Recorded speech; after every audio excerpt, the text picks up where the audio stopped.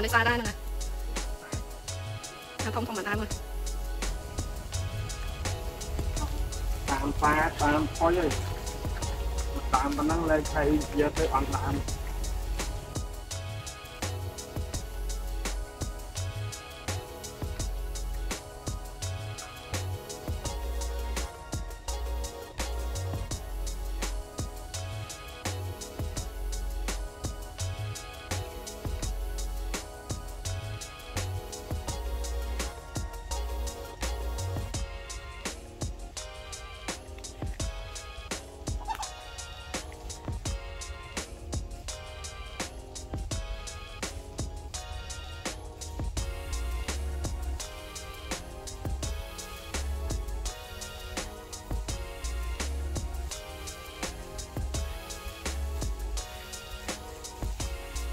បាទចុងមែនចុងស្លឹកនឹងចិត្តបកាដែរទៅទៅសេរីដើមធំចិត្តបកាទាំងអស់1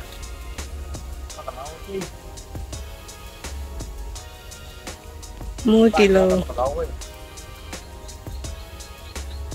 មកកាហ្នឹងពេញតែគីឡូជាព្រោះគេដាក់សម្រាប់ហ្មងអ្នកខ្លះដាក់5គីឡូពេលយើងដាក់អញ្ចឹងអស់តែ3 នេះស៊ីឆ្អែតល្មមហ្នឹងហើយដល់ពេលចាំចេញរួចមិនចាំឲ្យទៀតព្រោះពីមុនយើងអត់ដឹងអ្នកកាត់បោគាត់ដឹងគាត់ដាក់ម្ដងបែកមក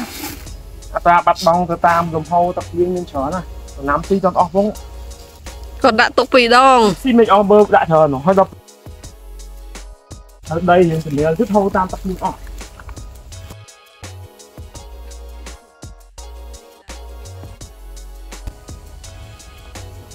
នេះដាក់តែមកលាស់ត្រួយចាប់ផ្ដាំត្រួយរៀង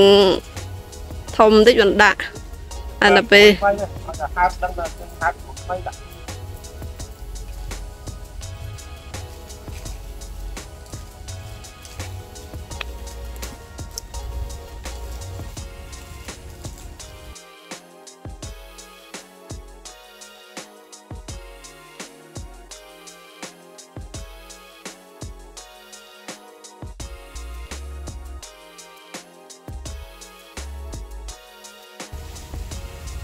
នឹងមកយើងបាចចូលដល់គោលវាបានណាណាតែតែតែទៀតដូចនេះ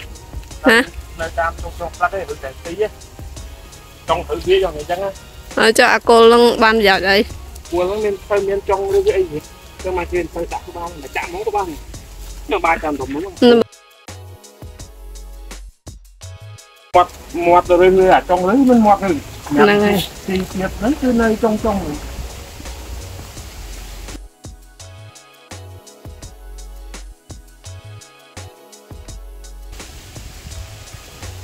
យកទឹកដល់ទី2នេះដើមធំอะដាក់នៅដើមរដូវវស្សាដាក់បានពីរដងហ្នឹងនេះរៀងរាល់ពេលជួយថ្មីហ្នឹងសាមស្អាតដែរនេះឆ្នាំមុនអត់ផ្លែឆ្នាំនេះយកខ្សែនេះហាហ្មងទៅ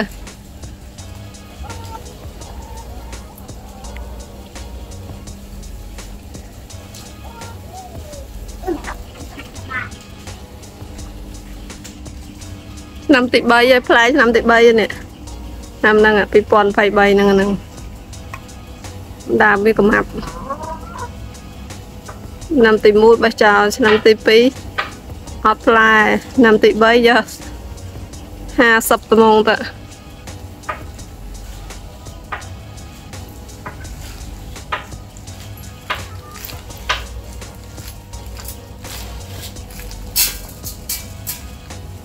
ពង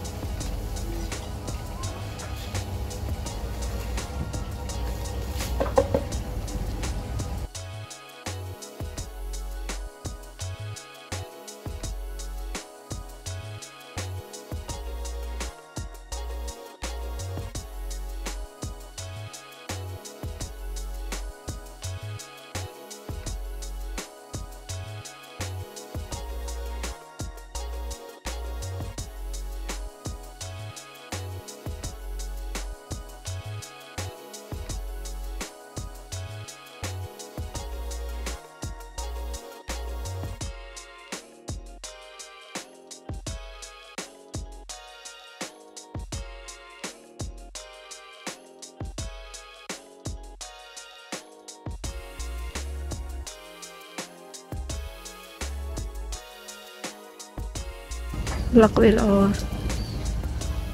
ដាំសុបលកវាស្អាត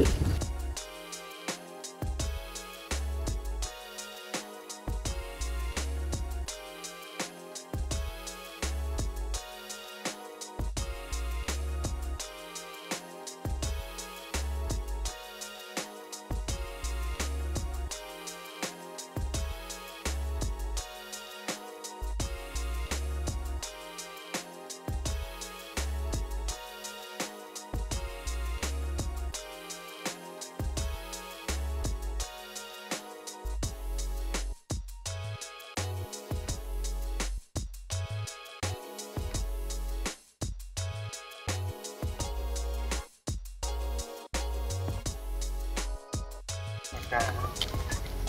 តិចតិចប៉ុន្តែដាក់ងាប់ល្អវាអត់បាត់ជីរាល់ពេលវាចេញថ្មីអាដាក់អិនពេលការហ្នឹងហើយញ៉ាំញ៉ាំកែងតិចតិចប៉ុន្តែដាក់ចឹងវាដាក់រាល់ពេលចេញខ្លួនថ្មីអត់យើងដាក់រកឲ្យពុកបងអាចដាក់មកតាមចិត្ត វាហៅតាភ្លៀងណាំនឹងដើមនឹងយកបានផ្លែ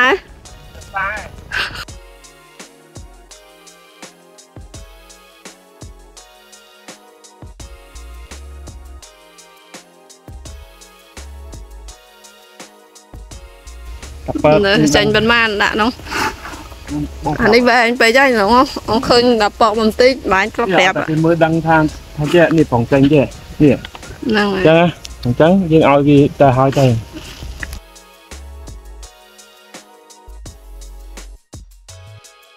អត់ព្រមនេះនេះមែននេះមិនច្បាស់នេះនេះមិននេះនេះមើលនេះថត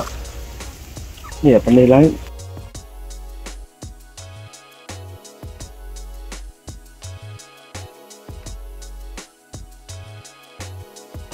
បាយបាយជីវាស៊ីអូទៅនេះចាញ់មកនេះណាណានឹងសញ្ញាអញ្ចឹងនឹងមិនន័យថាវារៀបហើបព្រួយថ្មីហើយអញ្ចឹងដាក់ជីនេះនៅមាត់ស្រះនៅមាត់ទឹកទា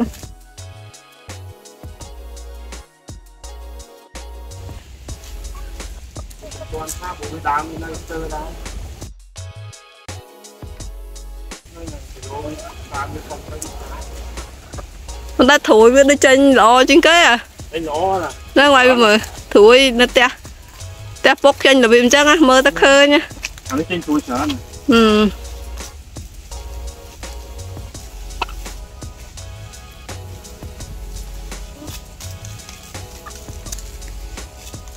បានត្រួយល្អនេះ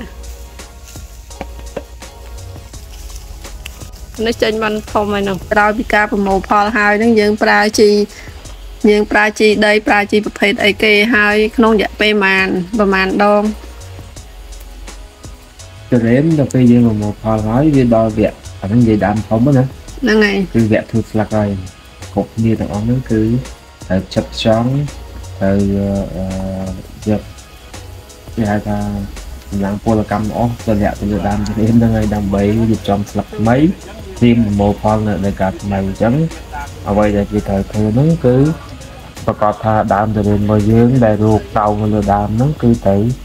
សម្អាតឲ្យអស់អញ្ចឹងយើងលាងដើមលាង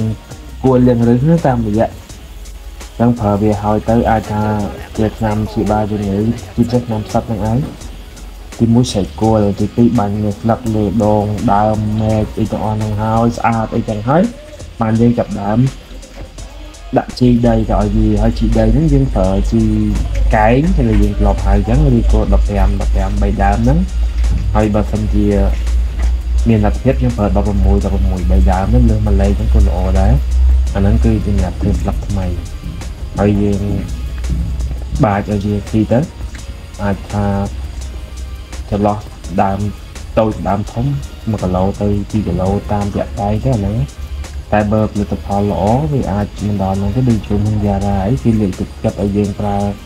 កម្រិតទៀតទៀតជាងនឹងអាចថាកន្លះគីឡូទៅ1គីឡូតាមទំហំដើមអញ្ចឹងអឺយើងបាចឲ្យវាទៅហើយរងចាំពេលវាចេញត្រួយថ្មីមកពេលដែលវាចេញត្រួយថ្មីមកយើងត្រូវតែដាច់ខាតមកត្រូវតែការពារត្រួយនឹងឲ្យបានព្រោះត្រួយទី1សំខាន់ជាងគេណាកាលណាធួយទី1យើងល្អធួយទី2វាចេញអូតូហ្មងធួយទី2ស្រួលធ្វើកាលណាយើងធ្វើបានធួយទី1មកហើយធួយទី1ហ្នឹងចេញមកថែវាឲ្យបានដើម្បីឲ្យវាមានសុខភាពល្អមានគុណភាព គឺចង់និយាយថាស្លឹកហ្នឹងធំក្រាស់អញ្ចឹងណាហើយកាលណាយើងថែវាកុំឲ្យសត្វដល់ពីផ្លាញធួយទី2មិនហើយទេឲ្យតែធួយទី1នឹងបានល្អធួយទី2នឹងចាញ់ហ្នឹងអញ្ចឹងជីដែលគេនិយមប្រើមានតែមួយមុខនឹងឯងគឺជីដែលមានទូ NPK ស្មើគ្នាហ្នឹងគឺ15 15 15ឬក៏16 16 16ហ្នឹងយើងប្រើវាទៅវាដឹងថាចេញទួយមកឲ្យយើងហើយក្រោយពីយើងអឺ កម្ចាត់រោគដែលនៅលើដើមនៅលើអឺចឹងជីហ្នឹងយើងប្រើមិនមិនមិនពេលចេញត្រួយបានយើងប្រើឯងយើងសម្អាតដើមវាហើយយើងដាក់វាភ្លាមហ៎តាមការអនុវត្តជាក់ស្ដែងរបស់កសិករមួយមួយៗអ្នកខ្លះគេយល់ថាយើងលាងដើមយើងអីស្អាតអស់ហើយអឺយើងចាំវាចេញត្រួយពើកត្រួយថ្មីមកចាំយើងដាក់ជីតែយើងមិនបាច់ចង់ទៅបើយើងអឺខ្ជិលយើងឲ្យវាស៊ីទៅហ្មងទៅ គ្រាន់តែសម្អាតដើមនេះហើយបោះឲ្យវាទៅព្រោះជីដីវាអត់ទៅណាទេវានៅក្នុងដីហ្នឹងវាពេលណាដែលវាត្រូវការចាប់ស៊ីវាឬវាចាប់ដើមស៊ីឯងយើងមិនបាច់ចាំបាច់ចាំថាតើតែវាចេញព្រួយមកទេព្រោះអ្នកខ្លះគាត់និយមគាត់ថាតាចេញចាំចេញព្រួយមកបានគាត់បាច់ជីតែបើយើងក៏ល្អមកមិនបាច់ទេគាត់តែសម្អាតដើមហើយយើងបោះជីដីឲ្យវាទៅវាចេះចាត់ចែងគ្នា អាហ្នឹងត្រួយទី1ម៉ាក់និយាយមិញហ្នឹងត្រួយទី1ចុះអាត្រួយទី2ហ្នឹងយើងប្រើជីដីដាក់អត់ទេត្រួយទីត្រួយបន្តបន្តទៀតហ្នឹងយើងប្រើជីដីដាក់អត់ទេឬក៏យើងដូរជីទៅប្រើអីវិញអឺតាមលទ្ធភាពបើយើងមានយើងឲ្យវាទៀតទៅគាត់ថាបើសិនជាយើងអឺមិនឲ្យទេក៏បានដែរយើងគ្រាន់តែប្រើទៅព្រោះឥឡូវចែកទេសជីឆ្នាំនឹងវាសបោដែរយើងអាចថាប្រើជី9000វាស្លឹកទៅទីទី2ហ្នឹងបើសិនជាយើងចង់ សំចៃជីដីហ្នឹងកាត់បន្ថយចំណាយពេលវាចេញព្រួយទី2មកហ្នឹងយើងប្រើជី9000វាស្លឹកទៅហើយពេលដែលស្លឹកនឹងស្លឹកចុងក្រោយនឹងលាហើយយើងចាប់ដើមដូរដូរអឺជីមក